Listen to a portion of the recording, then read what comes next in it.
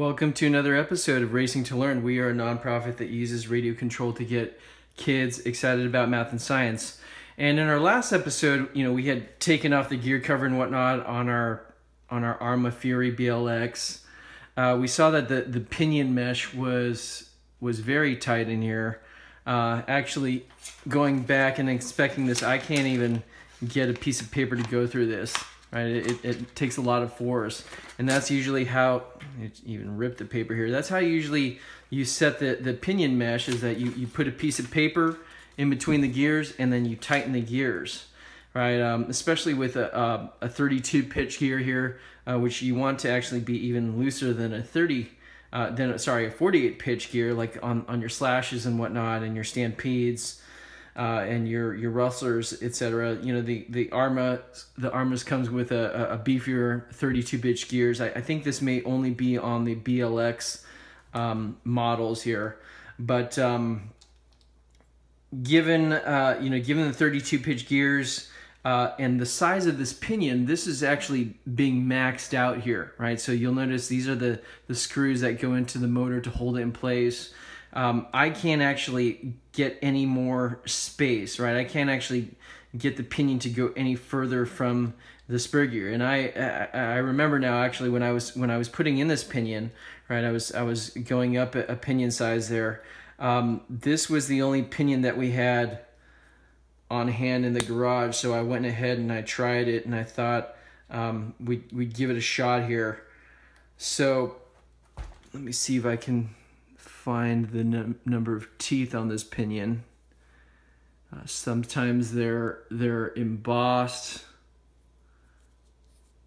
Uh, you, you'll see an engraving there. This one actually doesn't say, so I don't recall. I'm gonna actually have to count the pinions, the the teeth here, and I won't bore you guys by doing that while you watch. Um, but um, let's go ahead.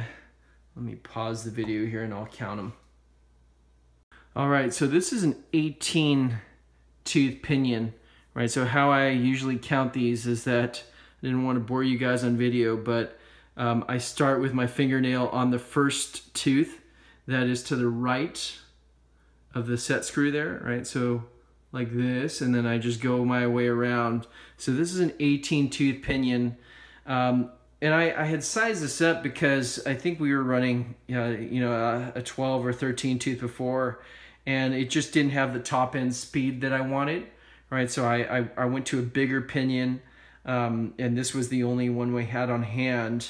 Uh, we'll, we'll probably have to get something like a 17 or 16 tooth pinion um, and try that in here so we have some adjustment room. And again, the 18 tooth, um, I, I just couldn't get enough uh, spacing in between the gears.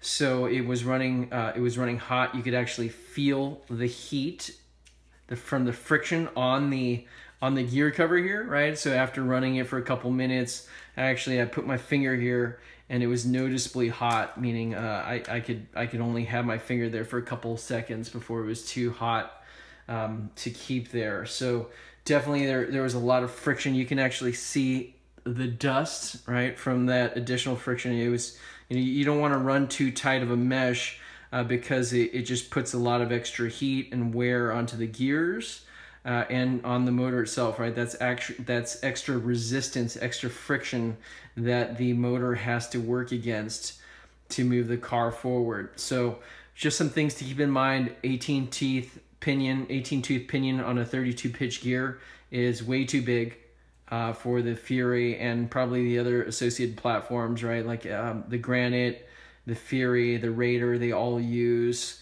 uh, the same transmission, right? Um, you may not see this uh, the the um, the metal motor mount on some of the lower grade ones, and actually I don't even know if they do it on the, the newer versions of the the Fury, the Raider, and the Granite.